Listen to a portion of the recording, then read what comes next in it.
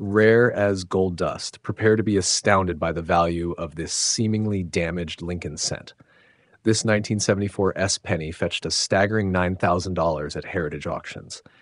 But why did this business strike penny commands such a huge value and become highly coveted by collectors?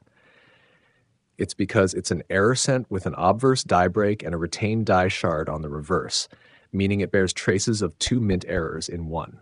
Graded as Mint State 63 Red and Brown by NGC, this coin presents one of the most intriguing die break errors known to us.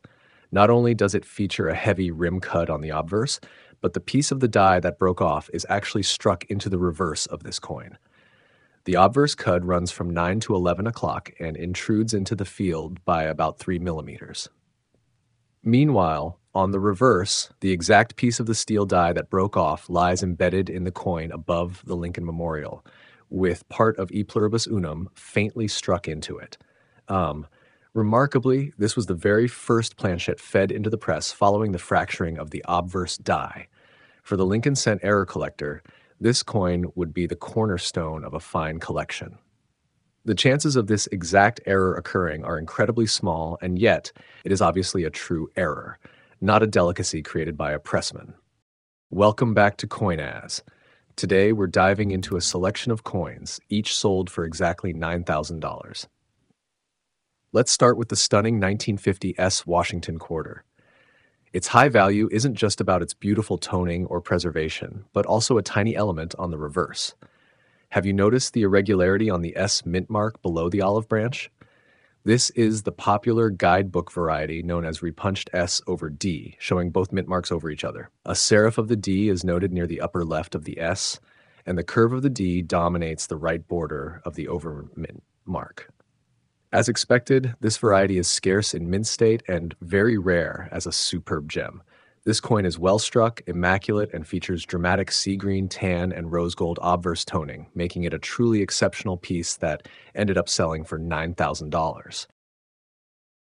Imagine the thrill of discovering a coin worth hundreds or even thousands of dollars in your collection. Introducing the 1972 S. Kennedy half dollar double struck on a Jefferson nickel planchet. Graded as PR66 Cameo by NGC, this coin is a proof coin intended for collectors and not for general circulation. Weighing 5 grams, this error coin underwent a fascinating minting process. The first strike was widely off center toward 10 o'clock and aligned with the collar die near 4 o'clock. The second strike was moderately off center toward 4 o'clock and aligned with the collar die near 10 o'clock. From the second strike, the top two thirds of the date is present and the mint mark is bold. From the first strike, God, Kennedy's profile, and and the eagle's tail are evident. A ghostly we trust from the first strike lingers on Kennedy's neck from the second strike, adding to its uniqueness. This exceptional coin, with its intricate minting errors, was sold for an impressive $9,000. Here we have a stunning 1914S Lincoln cent in uncirculated gem gem condition. These coins are scarce across all grades, with many circulated pieces being marred by corrosion. Mint state examples are very scarce, and fully red pieces are extremely rare. Typically, for cents of this period, the well struck ones often exhibit toning, while most red coins are a bit soft. This S Mint issue is a crucial condition rarity. With only 4.1 million coins struck, just a few dozen survivors have made it to the MS 65 red grade. This particular coin displays full strike definition throughout, and its coppery surfaces are beautifully preserved. A single carbon spot occurs below the first U in unum, um, adding a touch of character to this already remarkable piece. It ended up selling for an impressive $9,000. Have you ever wondered if that old coin you found is worth more than its face value? If you happen to have a Jefferson nickel dated 1961 in uncirculated and pristine condition, take a close look at the back side of the coin. If the steps, as shown here, are sharply defined and delineated, it could be worth thousands of dollars more. This is known as full steps in U.S. numismatics, which is a rarity for old nickels of this date. Less than 30 full steps examples of the 1961 Jefferson nickel are reported at PCGS, making them highly coveted by avid collectors. The present piece displays satiny nickel gray luster and sharp, defini- sharp definition of Monticello, despite metal flow lines in the fields from die wear. It was sold for an impressive $9,000. This 1933 Lincoln cent in red, superb gem condition, is a remarkable find. Despite its relatively low mintage, the 1933 P cent is quite common in mint state. However, most were not released at the time of coining and later fell into the hands of speculators when they were released a year or two later. While fully red gems are plentiful, very few qualify for the highest grades sought by registry collectors. Most survivors are well struck, though a few may show some moderate die erosion. This issue was always somewhat scarce in circulation, but the availability of so many mint state coins has kept their values in check. It's interesting to note that the Philadelphia Mint could have skipped cent production altogether in 1933, but it chose to keep its skilled staff employed until better times arrived. This CAC proven gem was graded as MS67 plus red by PCGS. The strike is sharp, and the frosty copper orange luster is devoid of carbon spotting. It's a truly exceptional coin that was sold for $9,000. This is a truly remarkable coin, bicentennial quarter double struck on a clad dime. This means that a struck clad dime was overstruck twice by proof 1976S bicentennial quarter dies. The subsequent strikes have effaced the undertype design, but the diameter and reeded clad edge confirm the undertype.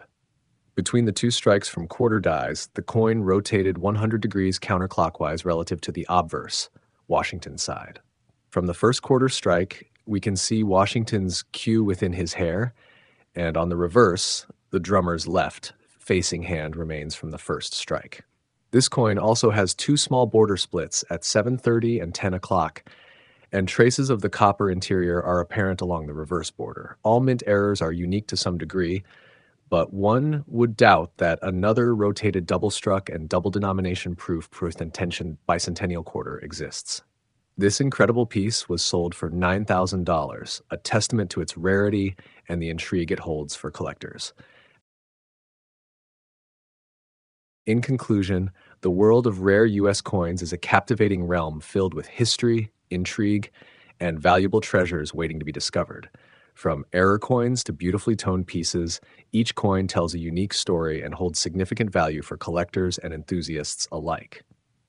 We've explored a range of rare US coins in this video, each fetching impressive sums at auction and captivating the hearts of numismatists. The 1974 S penny with its staggering $99,000 price tag, the attractively toned 1950 S Washington quarter, and the 1972 half dollar double struck on a Jefferson nickel planchet are just a few examples of the remarkable coins that can be found in collections or even in pocket change. Whether you're a seasoned collector or someone who simply enjoys the thrill of the hunt, these coins demonstrate that valuable treasures can be found in the most unexpected places. So the next time you come across an old coin, take a closer look. It could be worth more than you ever imagined.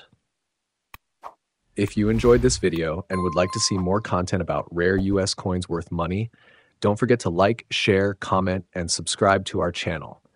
Your support helps us continue to bring you fascinating insights into the world of numismatics. Thank you for watching and happy coin hunting.